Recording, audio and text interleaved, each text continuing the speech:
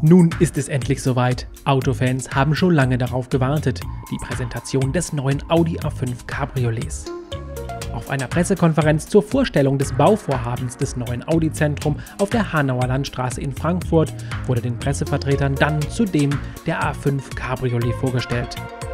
Begeisterung findet der Wagen nicht nur beim Publikum, auch die Audi-Mitarbeiter fühlen sich sichtlich wohl im sportlichen Ambiente das erste Cabrio auf der A5-Basis. Der alte A4 ist ausgelaufen und der sportliche, dynamische A5 Coupé gibt es ab Freitag als Cabrio. Das Auto hat 211 PS mit einem Sechsgang mit einem Sechsganggetriebe und einem Durchschnittsverbrauch von 6,8 Liter.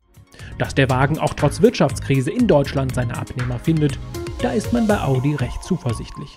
Wir denken, wir haben sehr viele Kunden auch im Bereich A4 Cabrio, ja, die das Fahrzeug, äh, die, die auch gespannt drauf sind, ja, in dem normalen Wechselintervall äh, sich für ein neues Auto zu entscheiden. Ja. Wir denken schon, dass die Kunden hier in Frankfurt äh, sehr interessiert sind an dem Fahrzeug und wir viele Freunde für das Auto finden können. Nun ist es abzuwarten, bis die ersten A5 Cabriolets über die Straße rollen.